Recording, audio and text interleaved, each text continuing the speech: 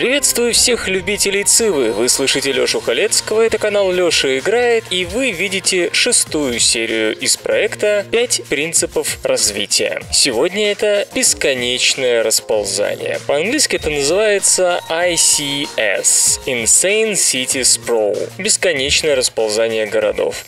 И исторически это самая-самая первая стратегия, которая есть во всех пошаговых играх. До четвертой части Цивы, собственно, только бесконечным расползанием можно было победить. Чем больше у тебя городов, тем больше у тебя экономика, тем сильнее нация, тем проще ты всех выносишь. Ну пошаговые игры развивались, появились штрафы на количество городов, и поэтому победить можно уже несколькими способами, слава богу. Однако бесконечное расползание никуда не делось, его тоже можно использовать. Понятно, что не в любой ситуации, потому что мне пишут, а как победить. Вот ты там рассказал об этой стратегии, у меня есть это видео выигрыша ICS за Майю в Gods and Kings. Мне пишут, вот, ты эту стратегию описал, но как в ней побеждать в сетевой игре? Боже, я уже миллионы раз вам об этом говорил. Не стоит все стратегии применять во всех случаях. Вы должны исходить из многих факторов. От нации, которую вы начали играть, от места, в котором вы появились, от карты, на которой вы играете в конце концов. Я не представляю, например, как можно ICS победить на маленькой карте, там, на, четы- на четырех или на шести человек, потому что у вас просто не будет места для того, чтобы ваша империя раскочегарилась. Более того, ICS предполагает, что вы выносите ближайших соперников, и если это с компьютером работает, потому что он туповат и воевать не умеет, то как только у вас рядом окажется живой соперник, более-менее умеющий воевать, то вся ваша ICS закончится не успев начавшись. И даже если вы его вынесете там ходов через 40, то вы уже потеряете начальный темп, начальную инерцию и в итоге не вывезете. Вы должны понимать, должны думать о том, где применять разные стратегии. Я вам даю только общее описание, логику действий в стратегиях, логику развития. И от вас зависит, где их применять. Если вы правильно их применяете, то вы побеждаете. Самая большая проблема, пожалуй, бесконечного расползания городов, это то, что она требует очень много микроменеджмента. У вас будет очень много городов, и вам каждый придется регулировать, управлять им, переставлять жителей. И это, конечно, напрягает. Но в конечном итоге вы получаете настолько мощную экономику, что во второй половине игры сносите любого соперника.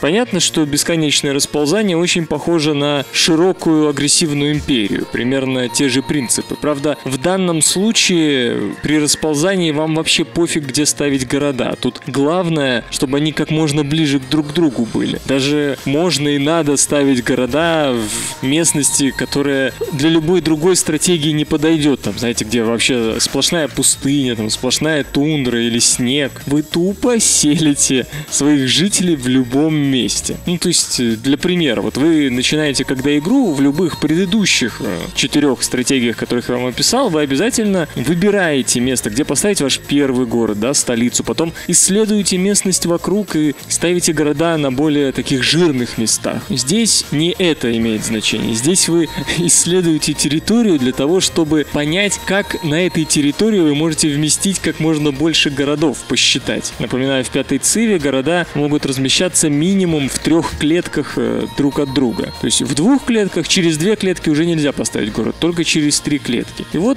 вы считаете эти три клетки от, от, от столицы, потом от следующих городов и ставите в любом месте. Потому что ваши города все равно будут покрывать всю территорию, и вы любые ресурсы все равно достанете. Бесконечное расползание требует также жесткого контролирования популяции в ваших городах, населения. И обычно для начала игры все ваши города не должны вырастать больше трех, больше трех жителей. Потому что это самое сбалансированное количество жителей для содержания дороги, дорог, которыми вы будете связывать между собой, и тех зданий, которые могут быть построены. Нужных зданий, естественно. Они. Понятно, что при расползании или при широкой империи не, не надо строить вообще все здания, только нужные. Ну и для ICS это, естественно, будут э, на золото и иногда на счастье. Но в данном случае, если у вас три жителя в городе, то вам нужен только Колизей. Все остальные здания практически, ну и в хорошем случае еще цирк. И потом, когда вы уже получаете какие-то дополнительные бонусы к счастью, вы можете постепенно увеличить увеличивать количество жителей. Опять же, напомню, что в Циве город не может приносить больше счастья, чем у него есть жителей. То есть, если, например, у вас город с населением 3, и вы там построили Колизей, который приносит два счастья, и цирк, который приносит одно счастье, то следующее здание на счастье ничего вам не даст, не даст дополнительного счастья, потому что лимит счастья в данном случае уже исчерпан. В общем, постепенно будете увеличивать население для городов, но не больше шести, опять же, до, до театров.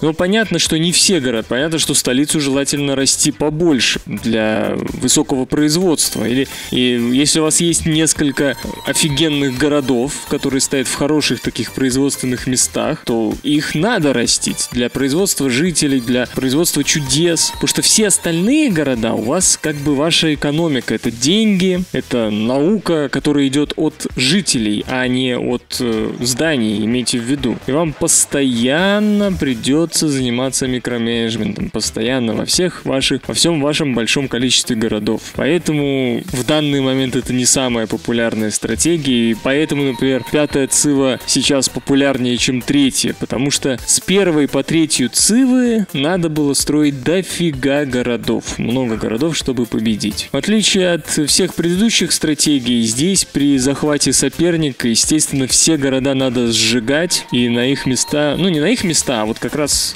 так, как я сказал, в трех клетках от своего города, чтобы занимать как можно больше места, как можно больше городов поставить, надо селить свои города, потому что захваченные города дают слишком много несчастья, а делать их марионетками э, в бесконечном расползании невыгодно. Вы должны сами контролировать, что в них строится, что в этих городах строится и что там делается. А видео это подготовлено при поддержке 2GIS. Недавно вышла бета четвертой версии программы. Новый дизайн, новый поиск, новая логика, функции и возможности. Все, что представлено было в онлайн-версии, переезжает в 2GIS для компьютеров. Под Windows, Ubuntu и ура-ура возрадуйтесь обладателей макбуков под Mac OS 10. Наконец-то. Разработчики просят сообщать им, если вы увидите, услышите или унюхаете какие-то проблемы в бета-версии. Лучшие цивилизации для ICS это которые, э, у которых есть какой-то бонус на счастье, какие-то здания на счастье, которые могут быстро принести религию. Вот, опять же, мое видео про бесконечное расползание городов я делал за майя. Там майя очень классны тем, что, во-первых, у них уникальное здание дает и религию, и науку, а с наукой здесь на начальном этапе будет плоховато, поэтому это здание это очень классно. Кроме того, их уникальная способность позволяет брать великих людей,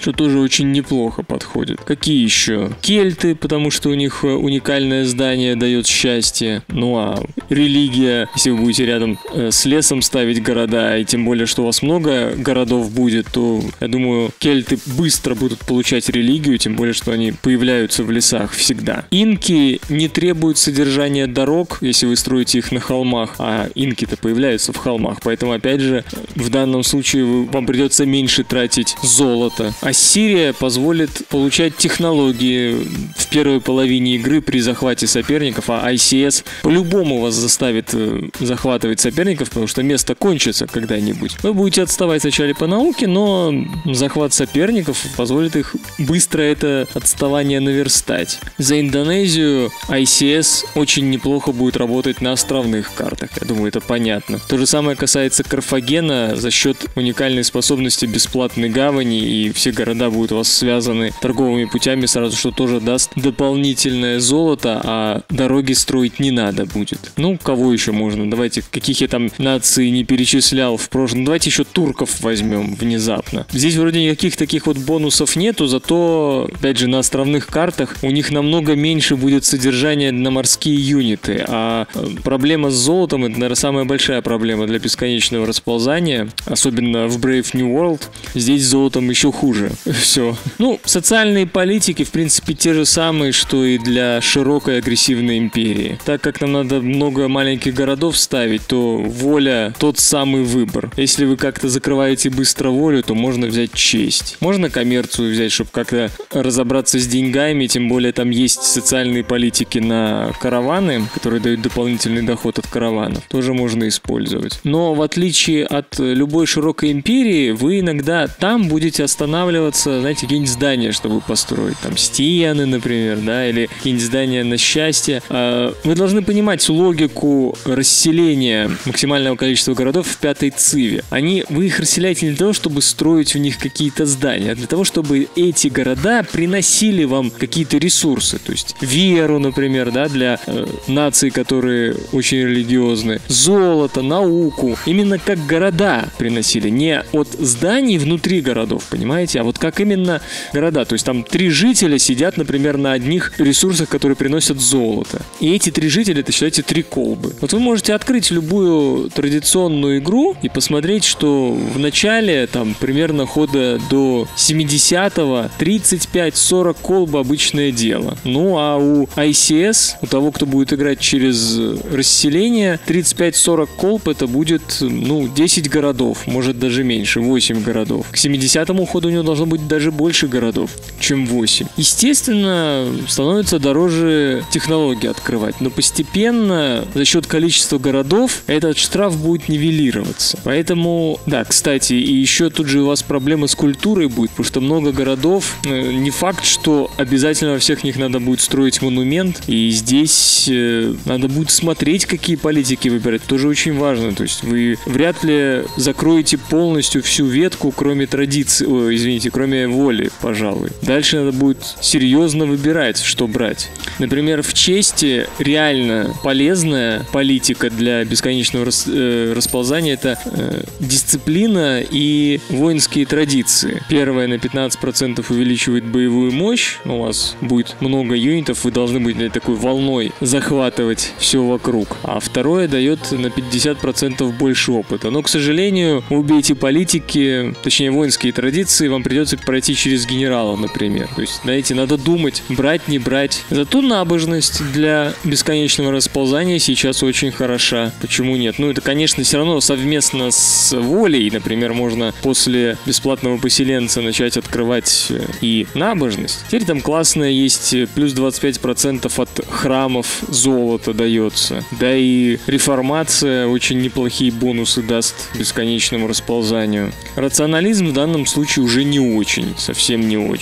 Потому что у вас нету таких процентных бонусов, как в традиционном развитии. Зато вот э, в навигации, да, в Exploration есть неплохие бонусы на деньги. Так что надо смотреть, решать по ситуации. Опять же, еще раз повторю, что это очень сложная стратегия для микроменеджмента. И очень неплохо, пожалуй, зайдет э, порядок. Ну или автократия. Опять же, в зависимости от того, что вы там делаете. Автократия для снижения содержания войск, почему нет? По поводу религии, ну тут все надо брать на счастье. Если вы получаете религию, то счастье, пантеоны на счастье, религия на счастье очень сильно вам поможет. Вам не придется тогда строить какие-то здания на счастье. При этом, если вам удалось основать религию, то за счет того, что будет у вас много маленьких э, городов, она у вас очень быстро распространится, а потом и захватит весь мир. То есть вам не понадобятся миссионеры или пророки, чтобы ее распространять. Она как пожар, потому что много маленьких городов давят очень сильно, чем мало больших. Намного сильнее. Ну, наверное, в пантеоне имеет смысл взять что-нибудь, что даст религию действительно больше будет. Или если вы уверены, там, типа, вы играете за Эфиопию, Майя или кельтов, и вы уверены, что вы религию возьмете в любом случае, или там рядом чудо какое-то природное, то тогда можно пантеон взять на счастье. Например, там счастье от городов на реках, которые стоят. А вот дальше укрепление, основание и верование последователей, смотрите тоже на счастье. Ну, во-первых, конечно, лучше всего пойдут это здания, которые покупаются. Пагода это must have. Но если вы вдруг не успели, то смотрите по ситуации. То есть, по-моему, неплохо будет э, два счастья в городах с пятью жителями, если там построен храм. Потому что к тому времени, по идее, у вас города должны до шести вырастать, и храмы будут два счастья давать, это очень неплохо. Но лучше всего здания за веру, то есть пагоды и мечети, например, это будет то, что надо. Кроме того, вы же воюете постоянно, и вполне может быть, что священное воинство будет неплохим выбором, то есть у вас будет очень много веры, и вы за веру сможете покупать войска.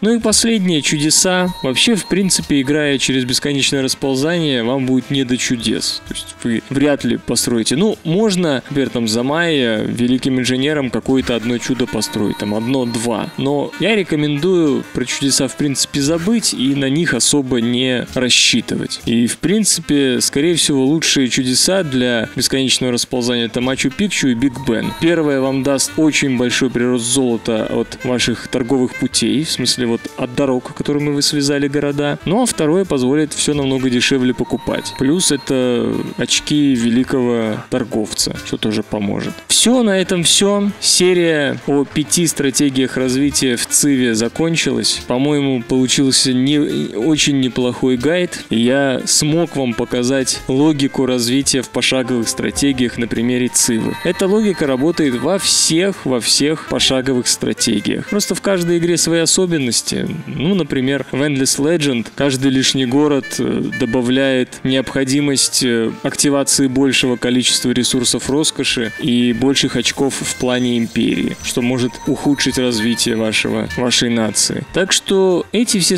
стратегии работают в разных пошагов, пошаговых играх. Используйте их с умом, смотрите, какая из них принесет вам больше пользы. Дальше я планирую делать видео рейтинг наций в пятой циве. О каждой нации расскажу слабые и сильные стороны и выставлю свою оценку по пятибальной шкале. На этом все. Вы слышали Лешу Халецкого, канал Леша играет. Пользуйтесь 2GIS и играйте в умные игры.